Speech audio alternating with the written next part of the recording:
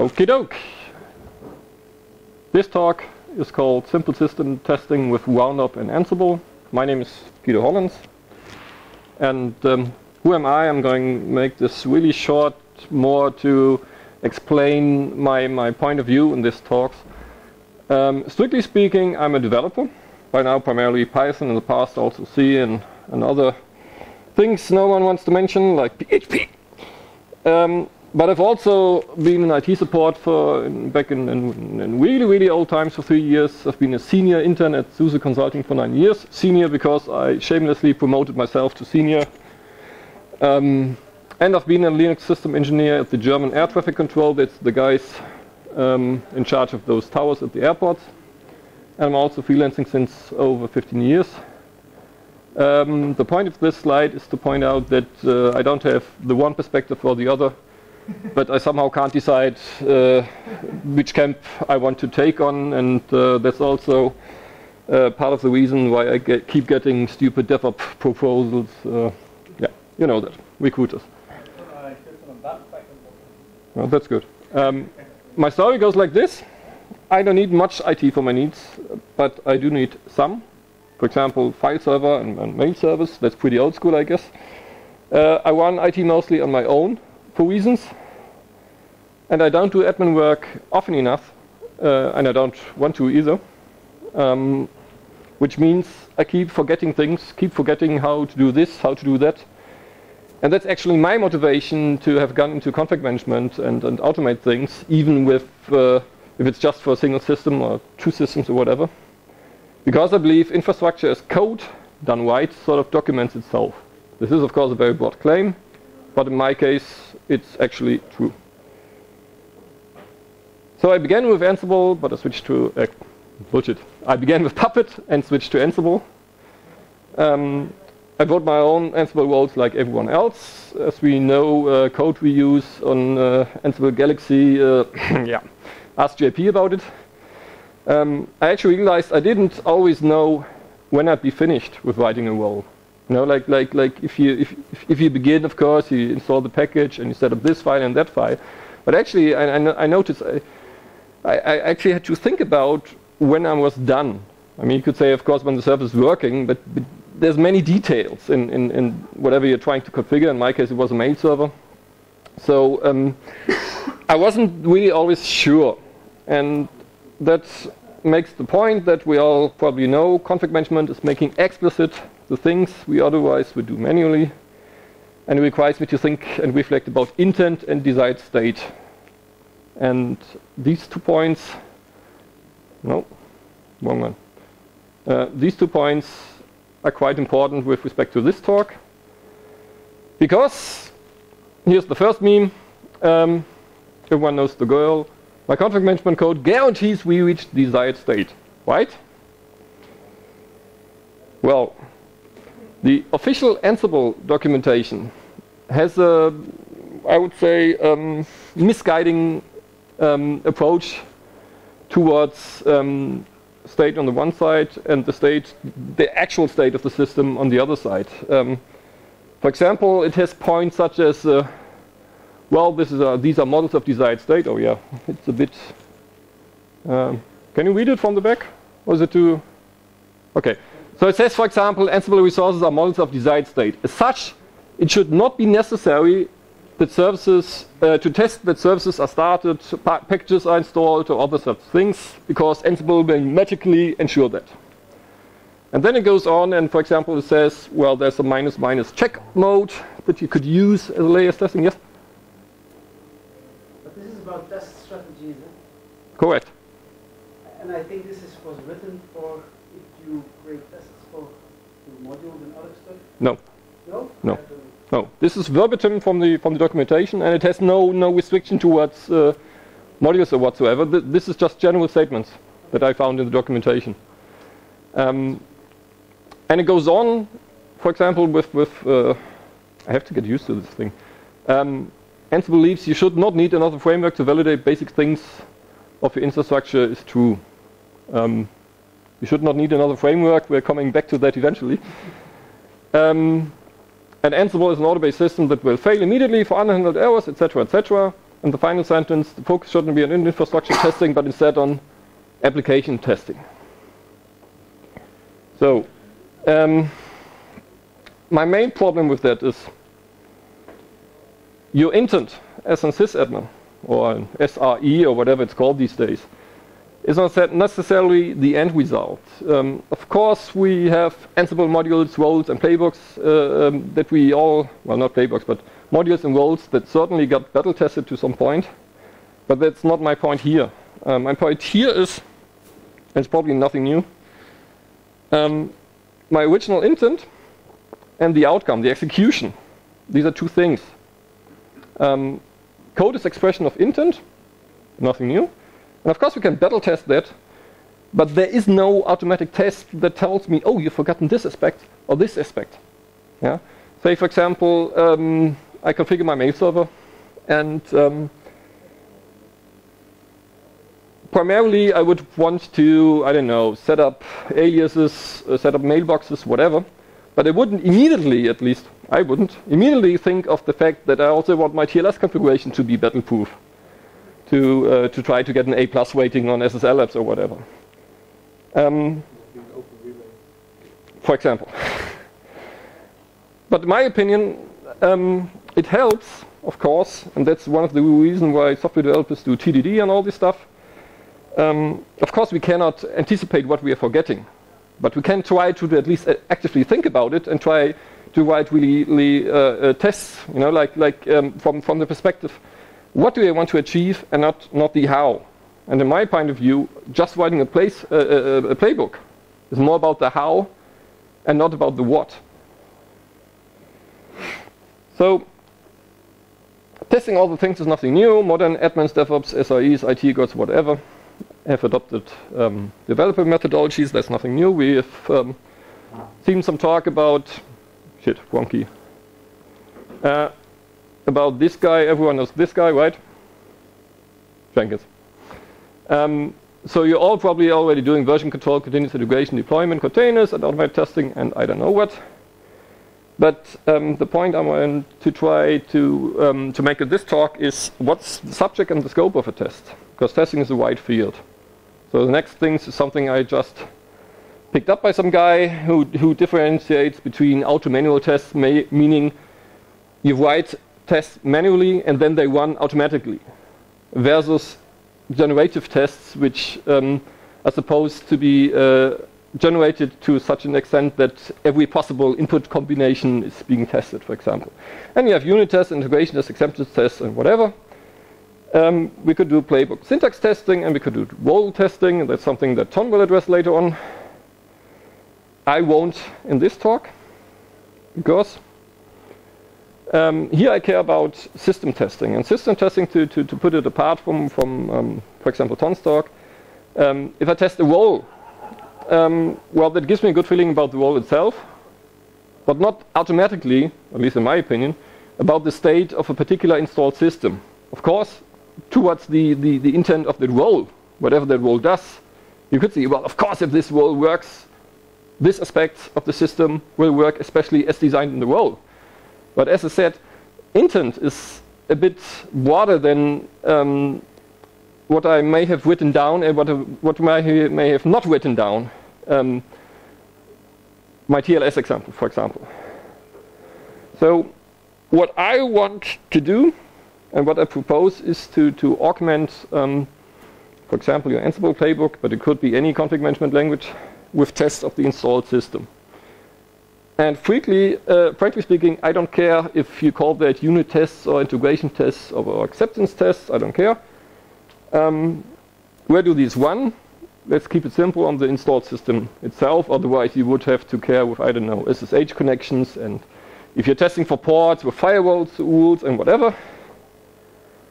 And we could use Python for that. We could Ruby and Node. I don't know what. Sophisticated testing frameworks.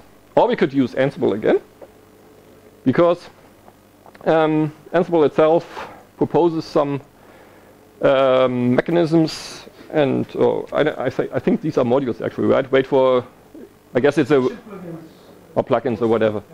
So you can you, you can do this. It's nice. Uh, nobody can read it, but um, you can do something like this. You can use wait for and, and fail and assert and scripts and um, do some tests. For example, you could use the action plugin. This is actually from the official page. And just try to access that uh, URI and see if you get an answer. And otherwise, you fail. So you get immediate playback, uh, feedback in your playbook about whether that URI has been made available or not. Could do this, and it doesn't hurt. But um, I've been thinking about whether it makes sense or whether it's completely natural to write the tests in the same programming language that I wrote the implementation in. In this case, um, Ansible. And I would say, well, yes, there are cases where it's absolutely natural. For example, if I write a Django application, my test I would write in Python as well. But in this case, um, because I'm talking about a system, um,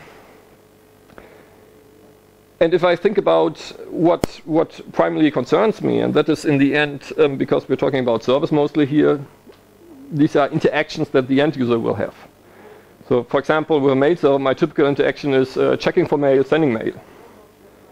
And in my opinion, an Ansible playbook is maybe not the right place to, to, to test for these or to, to model these interactions. So now comes the, the first controversial slide. If I say bash, and then we see a lot of those memes here. I want to script in bash, bam, nope, use Python. And oh, another bash script and whatever. And we have all seen this. So here's an example for a system test as a bash script, which is again not really readable, but I hope you can at least identify parts of it. First of all, we run bash with minus x minus e. I assume everyone knows what that means.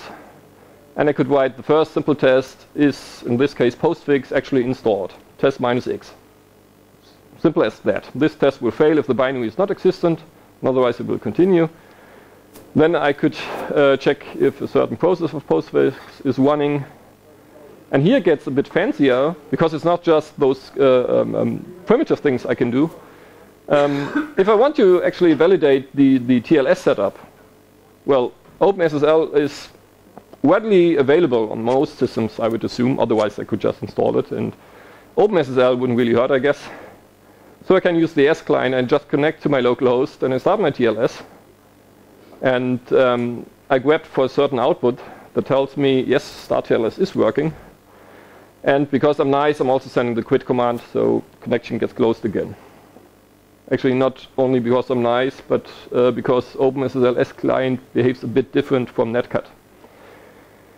And to go on, um, well, a simple test here, I added another queue, so this test should fail. And because this test fails, this one would be never reached in this example. This is short, this is simple, it doesn't require a whole software stack. And the question is, can you do that in your whatever your favorite program language is? Yeah, you could be proponent of any program language, I don't care. It's not that it's bad, but I think this is simple. So what would be the output here? Because it's bash minus x, I see every command being executed. Because it's uh, bash minus e, it exits at the first failure.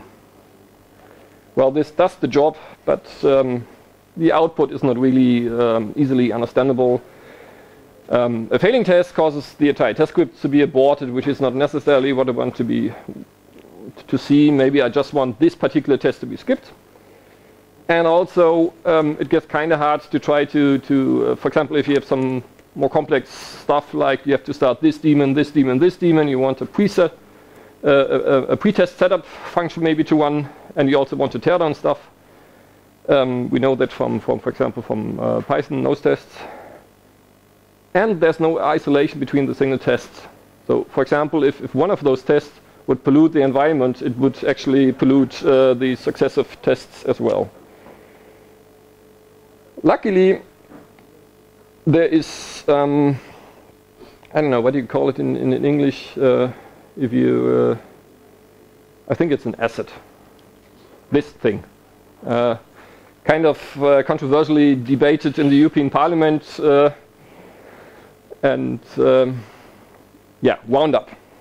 Of course, we're not going literally going to use literally this, but something called like this. And um, This is a little, well, I'll just quote it. A unit testing tool for running test plans which are written in any POSIX shell. It lives on um, GitHub, written by a guy called Blake Mizerany, which is apparently the author of Sinatra for Ruby. Not that I would know what uh, that is, but apparently that means he has some credit. And um, the nice thing is, oh, it's completely unreadable. Okay, I will try to make up for that. Um, Roundup itself is a bash script, which only has like 107 lines of code and 307 lines in total. That gives you an idea about how well commented it is. And it does use a lot of shell magic, which I actually wanted to highlight here, like it's using subshells here, and it's doing fancy stuff here with redirects, etc. But I'm not, I don't really want to show the code here. Right? It's, it's just um, that the author apparently is quite proficient in uh, shell programming. So what does Roundup do? It's a wrapper. I just call it in a directory of so-called test plans, which actually are ordinary shell scripts. I can also give it a name of a single test plan to execute, so a name of a particular shell script. Um, Roundup sources this script and simply executes each test that I put in a separate function, which has to start with it.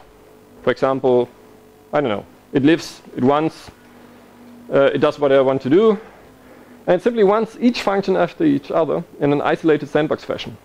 So that means a subshell of its own with a clean environment. And the test output will, will be pass or fail, and if it fails, I will see standard error and standard out, which looks like this.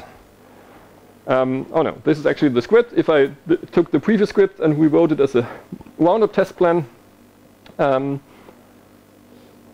these are the functions that, that, begin with an it. For example, it has postfix installed. I just put my test in there. So I, I simply move these, these, simple statements into functions of their own. Um, and suddenly, roundup goes, and I have this kind of nice output, right? I have a pass, I have a pass, I have a fail, and if it fails, it, it shows me again the bash minus x output and any standard out or standard error that would um, occur there. Otherwise, uh, each test plan, I, can, I could give it uh, a description with this describe function that is actually so, uh, provided by Roundup itself. In that case, the output would read differently from the file name, so nothing, nothing magic. But an interesting thing is I can do um, pre-test setup and post-test teardown in before and after functions. So if you want to start your three daemons, you just do it in the before function. And if you want to clean it up, you just do it in the after function. The after function is always called. So even if a test fails, it goes completely wrong or whatever, you're supposed to get a clean environment. And that's it, right? This is all about Roundup. So basically, all I'm introducing you to do today is a, is a nice shell script or a shell script wrapper or so, right?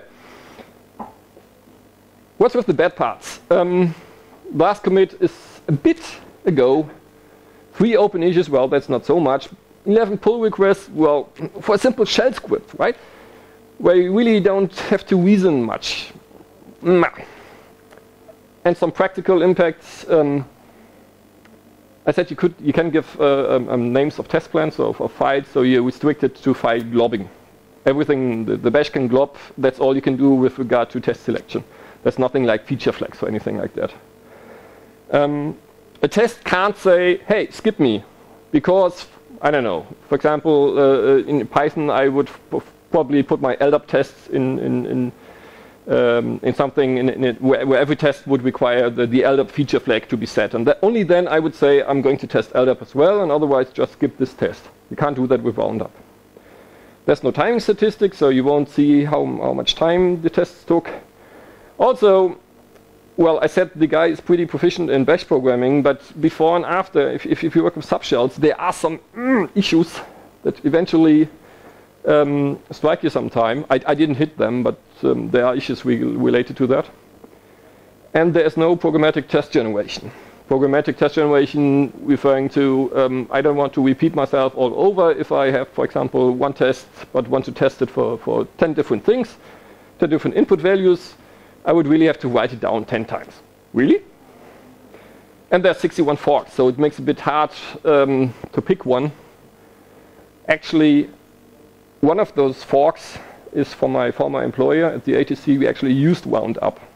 And we actually used Roundup to convince the QG paranoid uh, ATC engineers um, who tried to, to get us into discussions as to when an internally delivered product would be safe enough.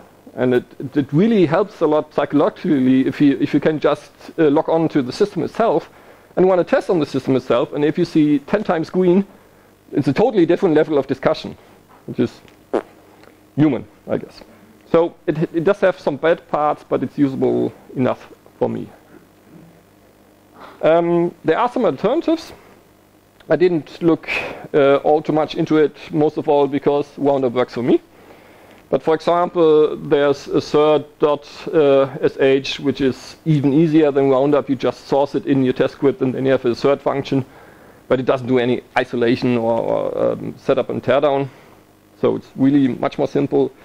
There is shUnit2, um, which is basically also sourced into it. It also has an assert function. And it even distinguishes between a one-type setup, which is a setup um, before all tests, and then a, a, setup that gets called before each test individually. For example, I don't know, you want to clean up your SNMP uh, environment or whatever. Um, it does support skipping. It does support test suites. The problem is it looks inactive and there's multiple source wrappers, so I wouldn't immediately know um, which one to take. And then there's bats. Um, that, for example, this guy who actually uh, did, a, did the comparison of these tools in the end went for, um, which looks a bit strange to me because first of all it does use a custom suffix for its files because it's not strictly speaking a, a script anymore. It has this strange syntax with the with the at sign, at test description, and I don't know what. And apparently it's TAP compliant, which is apparently test anything protocol, which apparently is a big thing. But uh, I haven't heard about it before, and apparently I don't need it but it might be of use to someone. So there is some alternatives. If Roundup sucks in your eyes, you might have a look at, at those alternatives. So, Toshi, nice to see you here. Uh, because I took you as an example, suppose you wanted to verify your mail server installation. You, you wanted to verify that all those contact addresses you use, uh, email addresses, uh, are working. And for example, um, you want to verify that info at loadays.org is working. You want that contact at loadays.org is working and webmaster at loadays.org and could go on like this, abuse, whatever. So you could write this test plan, which, as I said, is basically still a bash script. And you could write a function, it lets Toshi receive mail for info at loadays.org. And um, in this case, I use three magical helper functions. One just generates a Unix subject, one actually sends a mail, and one checks if a user has mail. Of course, this is this is not really um, usable in a cloud scenario where everything is separated. But in my case, um, I'm speaking of a single machine right now. So you could. Uh, this is really frightening. Um, you could just just feed in I don't know like like the sender, the receiver, the recipient, uh, the subject that you generated, and then you check does the user Toshi, which is by intent the same in this case because it's a local user account, uh, does it have a mail from Roundup at localhost with this subject? Um, I don't think I have to highlight that the subject is um, the thing with which I distinguish this test mail from ordinary mail. So this is really a live test, and I'm really um, I'm running it productively, and it seems to work just nicely. But the thing is, um, Oh yeah, and I'm using uh, Heirloom mailx to, to, to send and to receive to check if the mail has arrived. The thing is, who wants to copy and paste this all over? This is cumbersome. This sucks. And there must be a better way. Well, yes, but this guy is actually a former colleague of mine. And when I tweeted about it, this was his reply. Bash and generation in one sentence makes me frightened. And I said, hmm, I smell a challenge here. So if you are into, I don't know, uh, BDSM or abuse of programming languages, this is your slide. What we're going to do is we're going to use a for loop. Woo! How, how innovative. And, and, and simply iterate over the recipient addresses. And then we're go going to use the evil evil, evil, evil, to dynamically define a test function for each recipient address. So, so before I just statically coded them down, and now I'm just going to evil them as, as required. Um, there's only a problem when roundup, as I said, roundup doesn't doesn't um, uh, roundup actually does two things. Uh, it doesn't only source your script. First of all, it grabs your script, so and it simply grabs for this it prefix. So basically, the reasoning why they use this it prefix is so that Roundup can distinguish between a test function and, for example, a helper function. So if it grabs the test plan, it won't find these dynamically defined functions. Well, that's not really a problem because Roundup also sources the file, so we can simply ex ex expand this, um, this internal variable ourselves. And then that would look something like this. So here I go with my, I don't know, whatever uh, uh recipient addresses I want to check. I added toshaan.bharvani, extra points to me if I wrote it correctly. Um, and then I, I simply eval right, my, my test function here. And here we go and simply append um, this test function I defined up here and just append it at the end of roundup plan, and this works. But we might end up in hell for this. It's not nice. It's, it's really bash abuse, and, and, and there is actually an alternative if we combine Roundup with Ansible. So how do we combine Roundup with Ansible? Second meme. Um, first approach so there's four approaches um, I'm, I'm, showing right here because I'm still not really, really um, sure which one is the best. And actually, which approach is the best, of course, might um, we might have different reasons about uh, uh, opinions about that. So in the first approach, I, which I call just total independence, you just run your Ansible playbook, and somehow you deployed those roundup tests on your target system. And if you want to test, well, you just SSH in, and you want run roundup manually, to test the installation. You can potentially do that, I don't know, like, like every day or whatever, automated, I don't care. Point here is running Ansible and running roundup test is separated. Which is, of course, a bonus if you are not too sure of using Ansible in the long term. Maybe you're not sure which config management solution is the right one. And you can run, run the tests whenever you want because they are on the, on the installed system. But, of course, the lazy admin forgets and omits, and we are lazy, so you might just forget to SSH in and run the tests. And the thing is, if you run such a test, uh, such a system test, it might be that there is sensitive data that you need to put in. For example, if I want to, to test if user uh, Toshi can really log in, I will actually need his clear text password. Because uh, I can't feed mailx and, I don't know, uh, uh, a hash of his password to, to, to feed that to test the login. So if I want to test that, and it's perfectly okay if you say, no, no, no, that's not something I want to test because it's sensitive data. But if I want to test it, I would have to put in the, the, the password in clear text. And then, of course, it's really bugly, uh, ugly bash abuse, what I showed you beforehand. Second approach is um, let me help you. Ansible does some stuff. In this case, I just use Ansible to push the roundup tests onto the, uh, the system with the rsync module or whatever. And I also let Ansible trigger running um, roundup, which solves for the problem with, with the laziness, because every time I run my playbook, I automatically run my roundup tests. Um, this still means I can run, run my roundup tests independently from, from deploying, so I can always, I don't know, some auditor could log in and, and, and, and run the tests but we still have the problem with um, the sensitive data, and it's still ugly bash abuse, right? Because we're still assuming that we're using the ugly bash script I showed you beforehand. So third approach, which goes again one step ahead, um, is um, I use Ansible to deploy the scripts onto the installed system to run them, but also to delete them afterwards which means if I have sensitive data in it, it's no longer permanently lingering around on the installed system. Yeah? Of course, this is a compromise. You, you, it's still perfectly okay if you say, no, no, no, no, no, I don't want my perfect data, uh, my, my, sensitive data to, to linger around, even if it's just for a minute. It's perfectly okay. We can have different opinions about that. But at least I feel a bit better because it's not no longer lingering around permanently. Of course, you would uh, change mod 0600, uh, 0700 your, your test scripts or whatever, and so only root can read them or whatever, but so this is a way. Still leaves me with a problem. Oh, a new problem. Now, because I delete them afterwards, I cannot run roundup on the installed system itself manually anymore. Well, okay, I can live with that. But we still have the ugly bash abuse. But seeing that we now use Ansible anyway, so we really married Ansible and Roundup together, we can actually use uh, uh, um, its powers to the, to the full extent. And I call this build to order. Um, meaning I, I, I, just don't, I, I don't just rsync the changes over, but I use the Ansible's template module. And if I use Ansible's template module, I can use the for loop provided by Jinja, and I don't have to do ugly bash abuse anymore.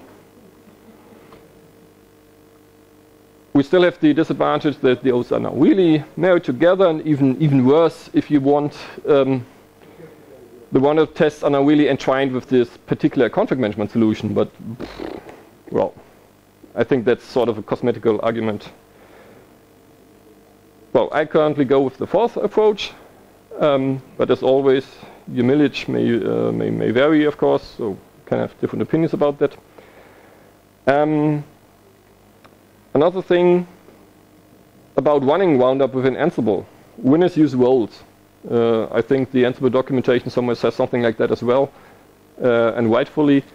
Um, of course, I'm not going to repeat my, my, my, my roundup running all the time again, copy and pasting it into a playbook. I'm using a role for that, of course. And the way I want to use that role is, well, it's just non a role. Um, I tell it where my tests are living. This is actually now a directory of xxx tests uh, .sh.j2 files because, as I said, I'm, I'm templating them now, so I can use Jinja Magic if, if desired. And this I simply put uh, into my files directory, or whatever way you like it. Um, I also introduced this pre-install packages because um, in this case of a mail server, uh, funnily MailX wasn't installed by default. Well, if you need some extra packages just for testing, I thought it would be nice if I could just uh, tell the world to do it and, and, and not, not to have an explicit um, task for that in every package. Yeah, in this example, for example, this is a Heirloom MailX um, that's really small and I can perfectly live uh, with that lingering around on the mail server. It's not like, I don't know, GCC or something potentially really bad. So this is how, how I actually uh, use the role right now. And um, yeah, what, what does the role do? Nothing, nothing magic. Uh, it downloads the shell script the get URL module, installs the pre-installed packages, and creates a temporary directory for the tests because, because those are template tests. Um, and because I want to clean up afterwards, I simply use a temporary directory. So nothing, um, nothing magic. Then this is what it looks like. Nothing magic, as I said. Um, somebody would probably argue, well, what uh, if the if, if, GitHub is down? Well, then you don't download from GitHub, but from some other location. And I tra transfer my tests. And with an Ansible, if a test fails, it looks like this. Um, I get the standard out from, from Roundup rather nicely. For example, in this case, uh, my firewall um,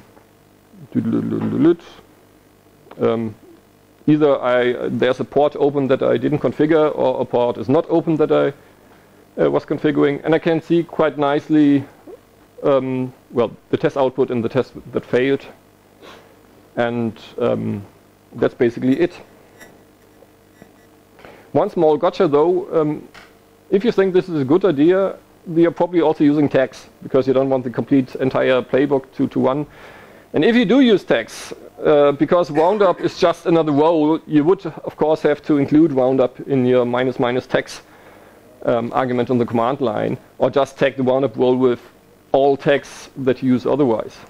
Right? Otherwise, you would break um, the thing with uh, we want to round to run roundup every time we have deployed. Yep. And another gotcha, this role, well, it's not available at Ansible Galaxy, and I'm actually, I'm, I'm quite resistant. um, if I listen to uh, JP all the time uh, saying bad things about Galaxy. And I'm not even sure if it's really worth making it available, but if someone wants it, I will, I would make it available. And that's it. Questions? Oh, oh, much too early. Let me ask. Uh, uh, um, oh, okay. Question? Yeah. Uh, compare the different uh, testing frameworks uh, you mentioned in the slides, like the bats framework? If I compared them, yeah, I did it on the slide. There was a small compare. Um.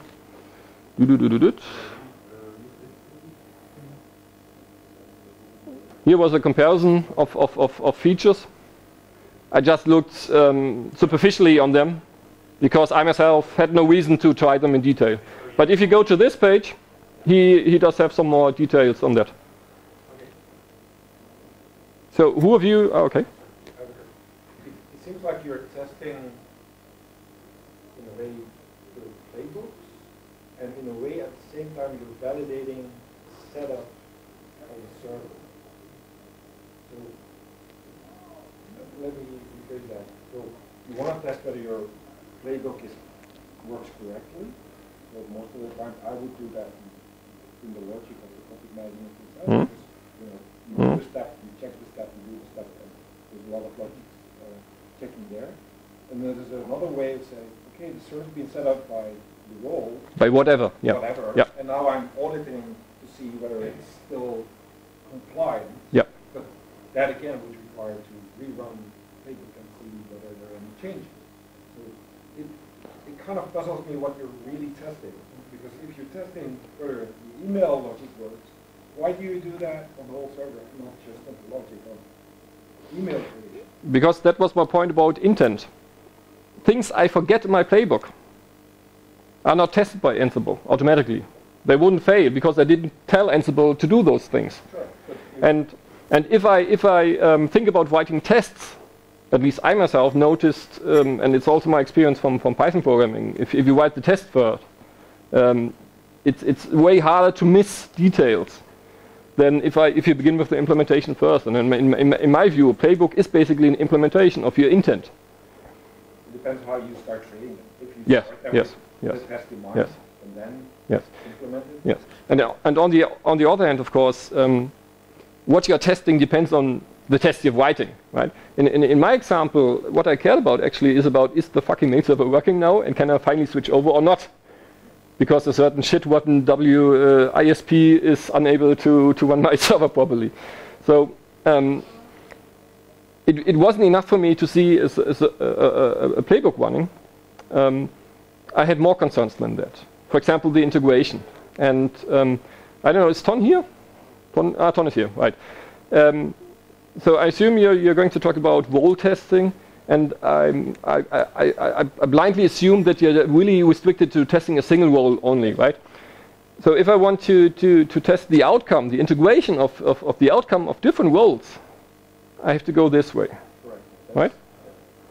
So that's what I would pri- primarily, of course, advocate this for. That was our experience as well. Just, Yeah. You know, one playbook Yeah. we the test. Yeah. And the thing is, the thing is, those roundup tests, they run so incredibly fast. Not that I'm bashing against the execution speed of Ansible. That's not the point. But and they are also well, they were independent of Ansible. I'm using some some some Jinja templating right now, but I can live with that, right? Um, so it just gives you another layer of confidence. That's basically all. And um, I actually, I don't know, I, I had a tweet actually about it because I actually noticed, well, my playbook looked perfectly fine, but I just forget something. And when I ran the test, it showed me. So basically, that's it's, it's, it's simply an argument as to um, it's not much work to write those tests. It's not um, that you have to install a complete Python stack or whatever on, on the installed system. Um, that's why I would simply advocate for, for doing this. It's not uh, maybe not the final solution about with the secret stuff and the credentials. As I said, we can discuss about that, of course, right? In, in my case, it's really just my own simple server, so I don't care about if my mail server password temporarily goes into a test script, and and, and because I'm more concerned with. Um, here's here's a um, well, it's not Friday, but uh, let's call it uh, um, a Saturday confession. I don't do monitoring. Because every time I looked at monitoring, that's another parallel with, with, with Jan Piet uh, until he discovered Zabbix. Every time I looked at monitoring, it was like, oh, what the fuck? This kind of, of, of you know, like, like, like setup and, and, and time it would take me to set this up and also to keep it running, uh, just to be notified if my, if my mail server is not working anymore. I'm seriously considering simply running the roundup tests every night that would eventually tell me that, hmm, something is broken here. It's not the same, of course, but as I said, um, I'm just a dev with some simple needs, and this is not a cloud talk. Uh, that's, that's why I had my um, introduction slides in here. Yeah, other questions? No? Oh, yes. Yeah, Yeah. remark, uh, so you, you test the, the end result of, of your... of That's my, that's my personal intent, yes. But, but nothing says that you have to do that too. You can write the test any way you want. What you want to know is whether the service that you have set up is available to users. For example, for example. Server itself, you cannot, you cannot test that. because it has a Well, I can, I, I. I cannot test the network to the server, yes. But I can, So just that if you run test, it should run outside. yes, server. these particular tests, yes. But for example, the test is, uh, is postfix running at all? I can't obviously not execute from outside. Postfix running at all, I think that's a bad example. No, it's just the first. test It's just the first basic check. Well, you have that anymore. Well, just in similar way be run as and that would solve that problem. Well, you could just run and if it doesn't change, Yes. but, but, but think about um, is maybe a bad example. Think about another Ansible module. I mean, I said we, we can rely on the fact that those modules have been tested. Take that with a grain of salt. Expliciting testing that the module really does what we intended it to do. If it doesn't take too much time for me to write such a test, well, it comes for free, so why not do it? If you, if you don't trust modules and, and actions as they are written down or as they're used, supposed to work, then I I prefer you add more tests to a testing framework for those modules. Yes, but as I said, it's not necessarily the module that is wrong. Maybe it was just me. For, take, for example, you, uh, you had a very good example. Um, Jinja. My playbook looks perfectly right, and I feed some data in it. And because of Jinja properties, what was the example again? I think the string, Yeah. 1000, 1024 key B or whatever. Are Those documents now. Yeah. Take this for example. Um, you could have posted maybe, I'm, I'm not sure, but, but I guess you could have caught it with, with such a roundup test. And you wouldn't catch it with, with, with the playbook uh, test or with, an, with a role test unless you add an explicit test case for it. So I still, I still think it, it adds some value and it comes for free, so why not? To to. Yeah. There's, um, I think the service check was indeed what tells whether it's running for a user. But these kind of tests would complement it in case it doesn't work. You have like a deeper layer of debugging. What isn't working? What isn't? So it gives you two layers to look at. One is important for the user. But if you start debugging, you run these tests, you will see, ah, it's here. Maybe the permission is wrong or that is wrong. So Exactly. it, it complements both. Exactly. And, and how often have we debugged something and it was some really stupid shit? For example, with a postfix, I don't know, the change wood didn't get set up correctly. How often have we been bitten by that, for example? Yeah. So wh- what we do for, well, at Cisco, we, run big scenarios with switches, virtual machines, everything. And at the very end, we run very specific end-to-end tests, so Hmm? functional tests. Yeah. Can I ping from this machine to that machine? That Yeah. can only work if all of these pieces eventually fit together. And that's on top of, obviously, all Yeah. the tests after we do stuff. stuff. And, and that makes it, yeah. But, but, but how do you write them? Do you write them inside the playbook or is it a They're script? Inside of the playbook at Okay. the very end. Okay. Just before we send out a mail, Yeah. everything Yeah. works. Yeah. Which is the last step in the playbook. Yeah. No, it's, it's perfectly fine to do that, but um, it's not an argument before or against. But, but for example, if I see this, um, well, I'm not going to argue about line count, but depending on what you're doing, the, the Ansible playbook variant would be way longer. Because of course the bash is perfect at just running executables. Um, and then at a certain point, of course, we, we can all come up with examples when, when bash is not sufficient anymore. Right? I think the downside from as a sysadmin, writing Yep. text is easy. Mhm. But um, with config management, we extracted a lot of the tests and logic away. So with one command, you can see whether a package is installed or all that stuff. And here you're kind of sometimes re-implementing part of the text. Yeah.